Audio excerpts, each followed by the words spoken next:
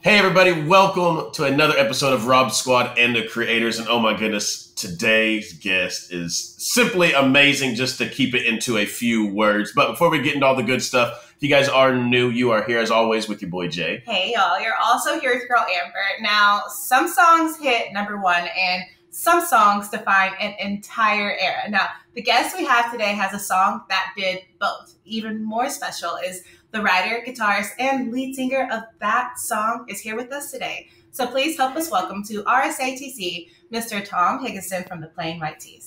Welcome to the channel. Hey, what's up, guys? it is an absolute honor to have you here today. I, I, I, just I had a quick question. You you mentioned you're from Chicago. Now, is your whole band like all you guys? Because we've we've talked to other um, artists, other creators. You know, one thing a lot of them have talked about has been like, oh well, this guy's from this side of the United States, this guy's from this side. You know, we get into the Plain White T's. Are you guys all from around the same area? Technically, most of us are, but we had one, uh, our guitar player. Uh, his name is Tim. He actually lives in Austin, Texas right now. Cool. And he grew up in Santa Barbara, California. And so the story there was, yeah, we were just like a local band in Chicago, but we got like, you know, we were starting to tour and we got a manager out in LA and everything and um, one of the guys in our band quit. Our guitar player quit in Plain White T's. This was in 2002 or 2003 or something. And um, so our manager was like, "Well, this other band, the, a band that we were friends with, uh, that he managed, like they were breaking up." And he's like, "Oh, you guys should see if Tim wants to be in the band." And we like had one rehearsal with Tim, and it was like, cool, yeah, we got it. like, hey, that's our guy right there. Yeah, exactly. So yeah, most of us Chicago, Chicago born, you know. We said that this song defined an era. So this is like a little bit different for us because most of the time on the channel, there's the songs that we go into like knowing nothing about. But this was a song that in our era was one that we even have friends name their children after. Yes. So we're excited to see what you're going to do for us today. We know it's going to be something very, very new because even though we have heard the song, we get to hear a pretty cool version from you today yeah, I'm gonna just you know kind of do my thing and play it for you guys live. I hear that this was the first time you've ever had like a live performance. Yes, first so there's a lot of things ever. happening here. That's really cool. Yeah, yeah. I've played the song about forty thousand times probably, but you know, for you guys, this is brand new. I like it, and and I'm glad you brought that up because. Like you said, you've played this song so many times. It's gotten, like I said, yeah. 1.3 billion listens. Is, is this a song that like, do you ever get tired of performing it? A lot of artists like hate their hits or whatever, right? They hate playing the songs. Not me. I love it because it's like the moment, you know, when when when people come to the the concert, it's like because the song was so big, you know that that's one of the reasons that they came. Yeah. You know, you know everybody loves that song. So it's like a nice. It's like that's why you you pick up the guitar to and, and write songs. That's why you want to be a musician to connect with people and to have those moments. Yeah. So yeah, it's like every night when we play Hey There Delilah, it's like that special moment and you just see the crowd, you know, like the smiles and the crowd lights up, everybody's got their phone out. It's like a moment and it's pretty special, you know? Yeah, because it means a lot to a lot of people. Like we said, we had friends name their kids after. I mean, mm. for me, it was the last song on my playlist when I was finished off a run in the evening. It was perfect. Oh, nice. You know, it was like really perfect to kind of finish off the run. I've I've listened to it a lot, so I understand like what that moment would feel like playing it to people who appreciate it so much. And there's so many people who appreciate that song. No doubt. Yeah. And to hear it live, I mean, goodness, like this is this is a channel first, and it is an absolute honor. So when, whenever whenever you are ready, Mr. Tom, you take it away, sir. Okay, well, I hope I don't butcher it. It's a little bit early here. I'm, you know, but I'm gonna do my best for you guys. Hey. Yeah. Um, as you you didn't really say what song it is, but it's "Hey There, Delilah." That's right. Obviously by Plain White T's, and uh, yeah, here you guys go.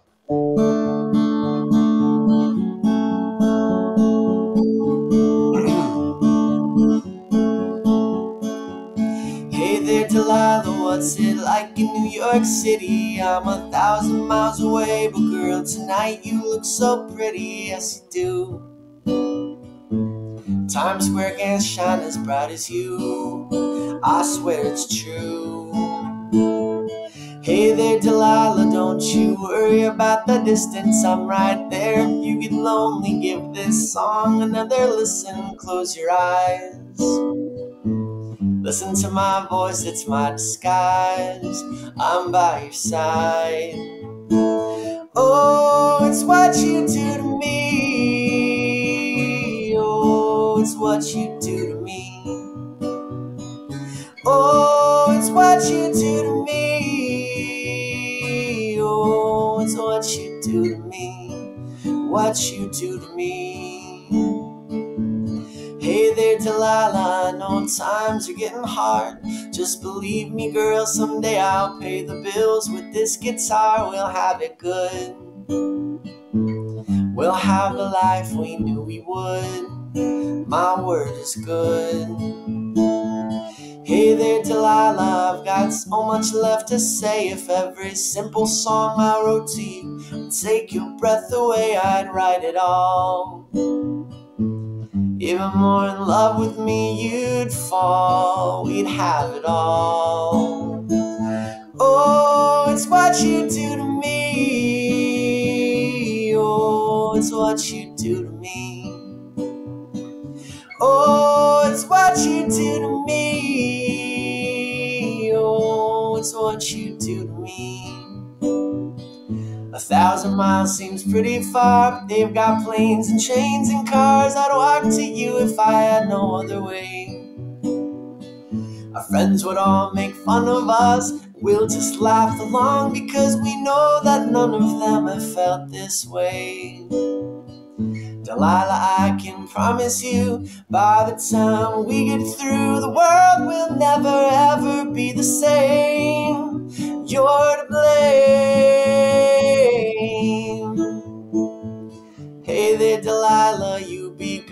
Don't you miss me. Two more years and you'll be done with school. I'll be making history like I do. You'll know it's all because of you. We can do whatever we want to. Hey, Jay and Amber, here's to you. This one's for you. What you do to me. Oh, it's what you do to me.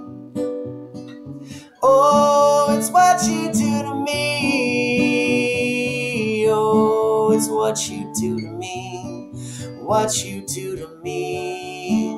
Oh, oh,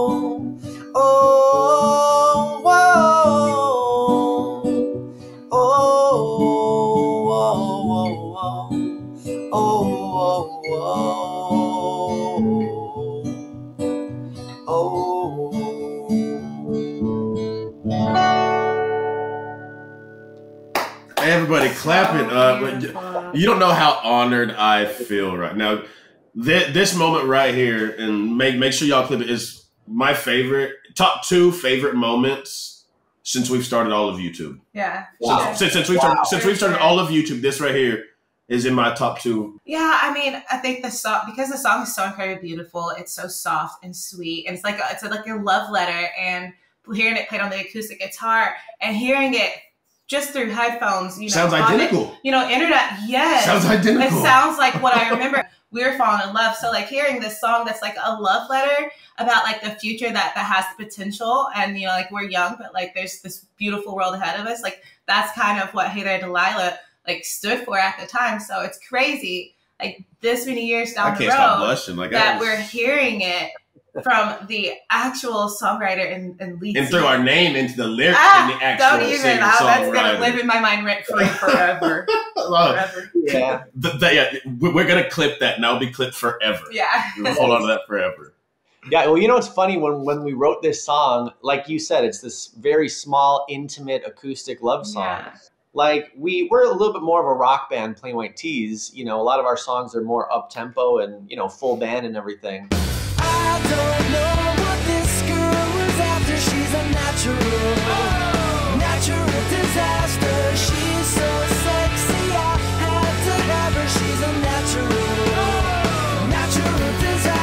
So we kind of thought that this song was like, oh, this is really good, but like it'll never be a hit because it's this small little thing, you know. And uh, thank God we were wrong. So I, I just I feel like it's just the gentleness in it, the the chords in it are absolutely beautiful. And my question, you're like, What what was the story behind the song?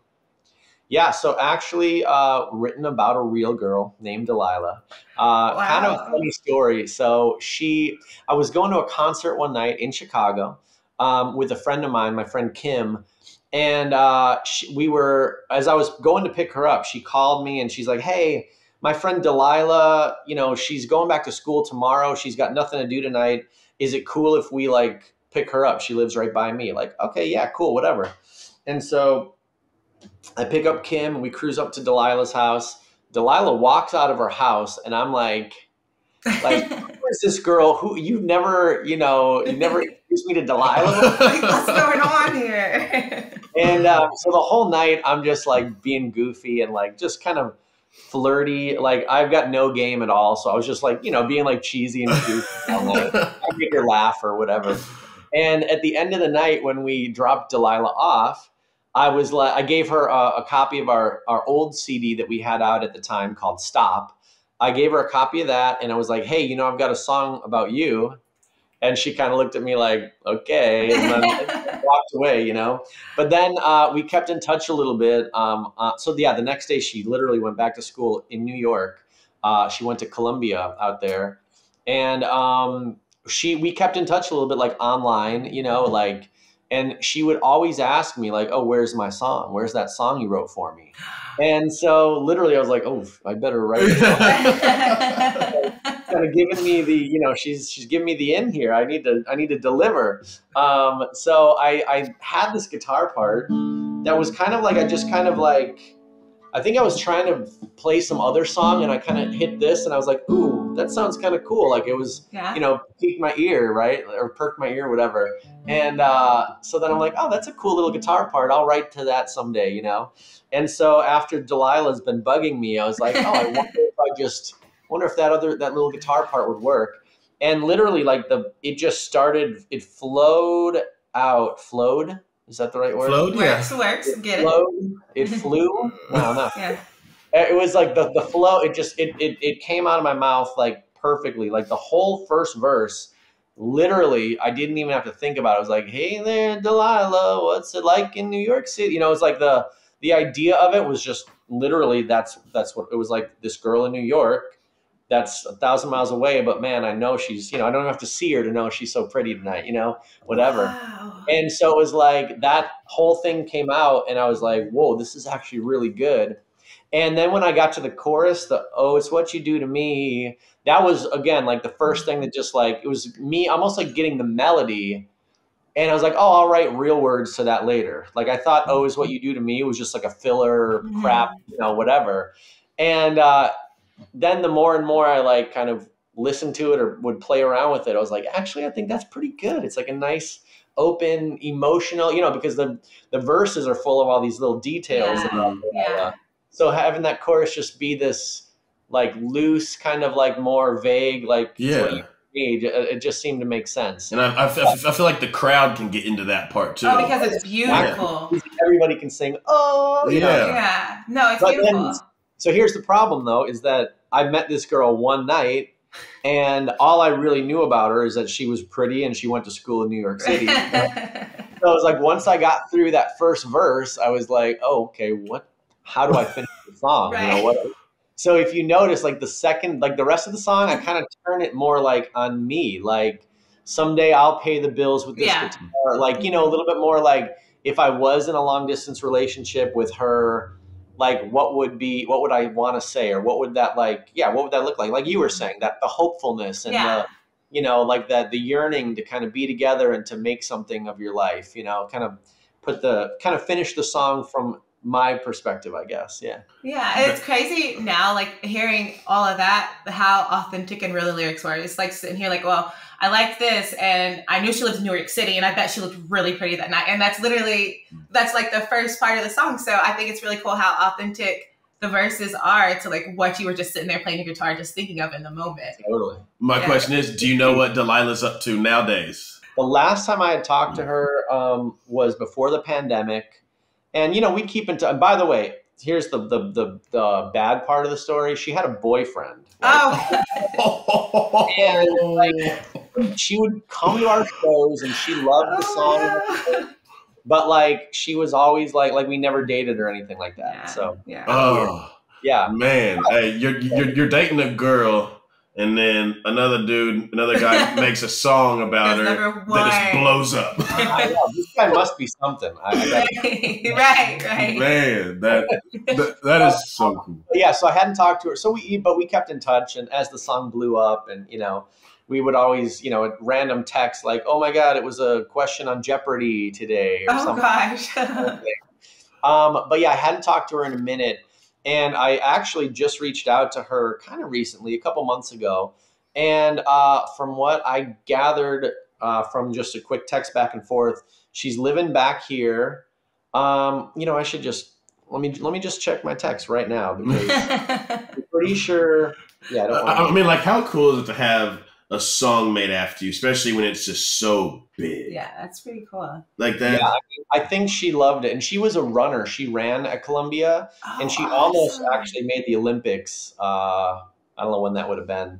Um, so yeah, she was like that close to being Yeah. an Olympic Yeah. runner. Um, Wow. yeah. So here's the here's the the T on Delilah. She is she moved back to Chicago. She's in the suburbs with her. Uh, I'm assuming husband, but she's got a, a six year old son. So Oh. cool that? Yeah. That is awesome. That's Delilah, if you ever see this, hello. I think she named him Tom, but I'm not sure. No, I'm just kidding. oh, That would be that'd be hilarious. he saw he saw that moment. He took it. oh my goodness, Tom! It has been an absolute pleasure, and thank you so much again for coming on the channel and being our first live performance. It's it, it's just something special and something I will definitely always remember. For sure. Well, it's an honor, honor to be here, you guys. Thank you. Uh, before we let you go, is uh, any anything you want to let uh, the fans know before you get out of here? Um, well, we just put out a brand new album in November. It's our first self-titled album, so it has no name. It's just Plain White T's. Um, the album cover is amazing. Oh, you know what? I got it right here. Sweet. Oh, Yes. yeah, yeah, of course. It's actually I got the CD, and then I've got this little like paper thing that's like not actually the Oh, I uh, like it. take out Plain white tees. cover, like a Mhm. T-shirt, and then yeah, the CD.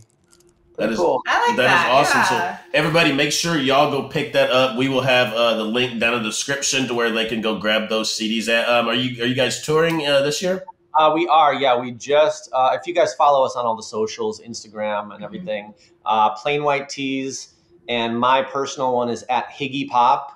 Um, my last name's Higgenson. Higgy and Pop. I, I like it. Some guys somewhere along the line just started calling me Higgy Pop, and it's stuck. um, so yeah, follow us on, on uh, the socials, and yeah, we just announced uh, a bunch of tour dates this summer, and we actually just got word of a really fun fall tour that we cannot announce yet, but Be So, looking yeah. out for it. we a lot Awesome. of good Yeah. stuff. Good stuff coming up this year, yeah, and the new album. We'll have all the details down below. Make sure you guys go check it out. This has been, like I said, one of the most memorable things that we've done here on the channel. And thank you again, Tom. But as we always send our RSR family out of here, we love you. We thank you. We appreciate you. And remember, every single day that you guys wake up, it is a blessing and that you are blessed. And for your new family members to hit that subscribe button down below, we welcome y'all to the RSR family. But you have a goal every day, just like we do.